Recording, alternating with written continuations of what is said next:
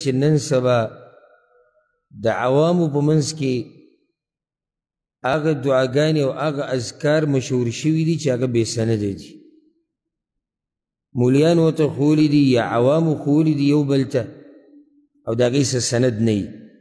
خصوصا دا اذکار یو لاک پیرې دا وایه او زر پیرې دا وایه او دوه زره پیرې دا وایه لس زره پیرې دا وایه دا کار به دې وشي او دغه به دې وشي دا وظیفې تقسیمېږي را تقسیمېږي زموږ په دې ملکونو کې او زموږ په دې علاقو کې چې هغه اکثر بې سنده دي او دغه شان خاص دعا به یې جوړه کړي د هغې نسبت به پیغمبر ته کړی یا به یو صحابي ته کړی وایي دا داسې وایه هغې کوم اکثر سند د هغې کمزوری نو اوس موږ څه ضرورت لرو کمزورو حدیثونو ته او کمزورو اذکارو وظیفو ته او الحمدلله موږ سره قرآن او صحیح حدیث دي ضرورت خو دغه قصو ته دغه منګړتو خبرو ته به هغه څوک لري چې هغه سره څه نه وي نو اوس موږ سره خو قرآن دی نو موږ سره صحیح حدیثونه دي ولې دا صحیح حدیثونه ختم شو دا اذکار چې په صحیح حدیثونو کې راغلي دي هغه ستا دپاره ناکافي دي هغه قرآن کې چې کومې دعاګانې دي هغه ستا دپاره پوره نه دي صحابه کرامو نه چې په صحیح سند سره کم اذکار رانقل دي دعاګانې هغه ستا دپاره کافي نه دي چې تا ته ضرورت راپېښ شو چې ته بې سنده او منګړت وظیفې زده کوې او بیا خلکو ته بیانې او بیا په هغې باندې د دروغو اجر ثابتې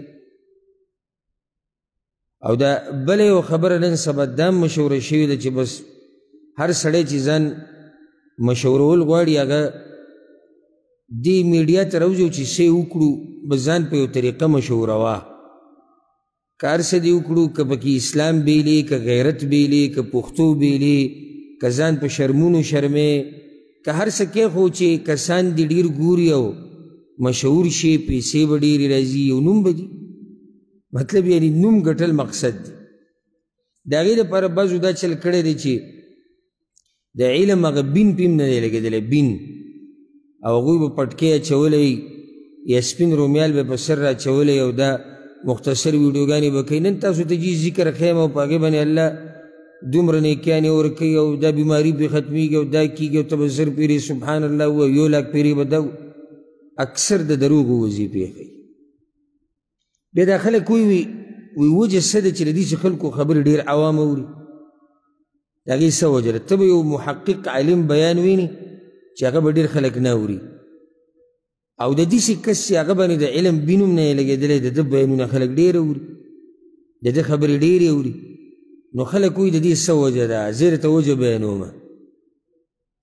یوه وجه هغه دا ده چې دیزې کې شیطان هم زور په دې سړي راوستلی چې د ده ده ومنه لکه چې شیطان خدا غواړي چې زمونږ دا دین زمونږ نه ګډ وډ شي د صحیح دین نه ووړو نو هلته هغه کم حق پرس عالم چې لګیا دی او کم چې عالم دی د هغه په بیان کې خو شیطان تا منع کوي چې ما وره دلته شیطان ستا مرسته کوي ووره نو دلته به کسان ډېر نه که نه لږ به ډېر به یو وجه دویمه د عوامو هم د مختصرې لارې خوښې دي د عوامو کمې لارې خوښې دي مختصر لارې لکه یې درې سوه پېرې دا ذکر ووایه پنځه لکه ګناهونه وبخښلی شو په کې لس لاکه نیکیانې دي جنت ته به هم ننوځي او رزق به دې هم برکتي شي نو دې نور څه غواړي دې د بل چا بیان باندې څه کوي هغوی راشي د یو څو منټو کار دی او قیصه ټوله ختمه نو د دوی دا مختصر دا شارټ کټ لارې خوښې دي اوس بل طرف ته چې ورته ته دا وایې چې نه دا به ته ګورې چې دا پیغمبر نه ثابت دي که نه دي ثابت داسې کار مه کوه چې په دین کې نه مړوي دا اوږده کیسه ده دغه مزي وړوکی کتاب خرڅېږي په کوم ځای کې خرڅېږي وي په ګاډۍ کې اکثر په دې مارکیټونو کې دا ګاډۍ وي که په دې ګاډو کې خرڅېږي چې په هغې باندې نه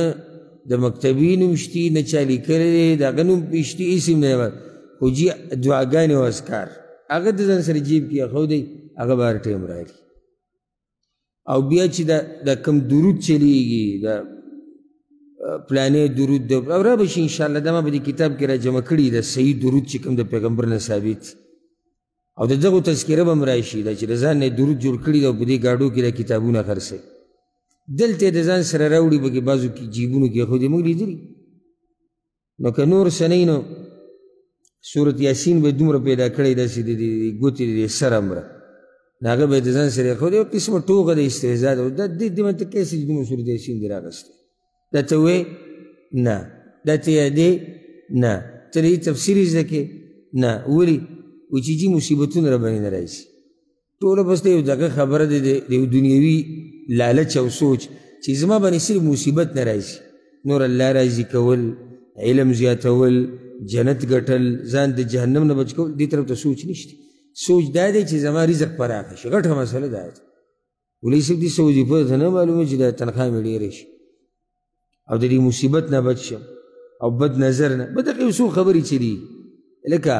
الله یاد که دې دپاره چې الله ته وبخي الله په تا باندې رحم وکړي الله یاد که دې دپاره چې ستا دنیا او آخرت خیستی شي الله یاد که دې دپاره چې تا نه راضي شي الله یاد که دې دپاره چې تا له جنت درکړي صحیح ده دا نورې خبرې هم صحیح دي دا راته میلاویږي خو ته خو به صرف د هغې سوچ نه کړي ته الله یادوه الله یې د مصیبتونو نه ساتي ته الله یادوه الله ستا په بدن کې په بچو کې په رزق کې په هر څه کې برکت اچوي